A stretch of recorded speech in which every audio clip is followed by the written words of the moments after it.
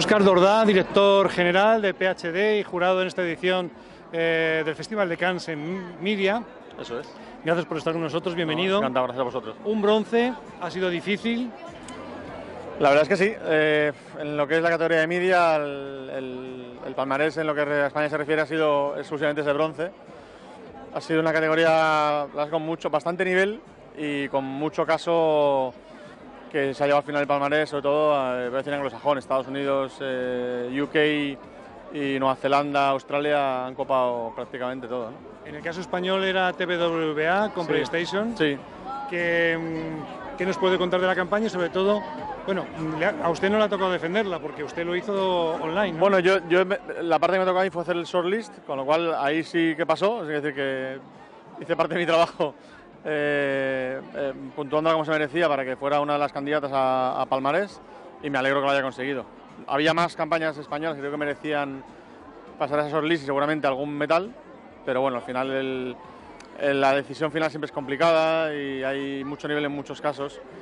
Y es una pena que otros grandes que había, yo creo que bien trabajados, pues ahora recuerdo, pues no sé, Ikea, eh, de Audi, eh, mismo de Vieja, que también está en media, yo creo que muy, muy buenos casos que, bueno, pues hubieran sido también dignos ganadores de algún metal, pero bueno, hay que estar contentos de todas formas. Pero ustedes ya le llegaron votados el 80% largo, ¿no? De las piezas que... Bueno, yo voté del, del total piezas inscritas, me tocó hacer el filtro para hacer la shortlist, es decir, que de las 300 que voté, bueno, pues unas pocas pasaron a la lista corta, que es de donde se han elegido.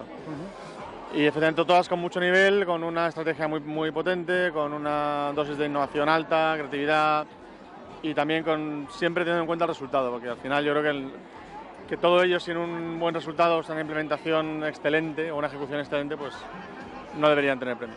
Háblenos del Gran Premio y de la aportación para la marca que ha tenido. Bueno, el Gran Premio se lo ha llevado Nike con una campaña conocida, conocida, inteligente. Yo creo que es seguramente lo que ha hecho que sea la, seleccionada como Grand Prix, ¿no? Una manera especial de aceptar o de, encontrar una oportunidad de una manera muy simple, pero con un, un insight muy profundo y muy pegado a, lo que es la marca, ¿no? que Nike está apostando, con lo cual creo que es un buen, es un buen caso y se lo merece. Pernick, ¿no? que era esta resistencia. Bueno, ese es otro de los que han tenido premio, han tenido un oro con esa, eh, que al final es en esa, digamos, cultura que tiene Nike de ser un poco también, es transgresor la palabra, eh, y apoyar causas eh, sociales que ha sido una constante en general en los casos mejor valorados. Tienen todos un foco ya sea por pelear derechos humanos, eh, igualdad, género, discapacitados, etcétera. Pero en este caso la de Nike era una campaña aprovechando grafitis en la calle y eh, pintando sobre los grafitis las, las deportivas de Nike. ¿no? Es una campaña muy inteligente. Pero que es curioso porque la ha hecho un ex creativo creativo de Nike, pero que ni siquiera la ha producido Nike para quedarse fuera y poder decir que hablaban de ella, pero no somos nosotros. Cosas pasan, sí, sí, así es. Pero es sorprendente. Sí.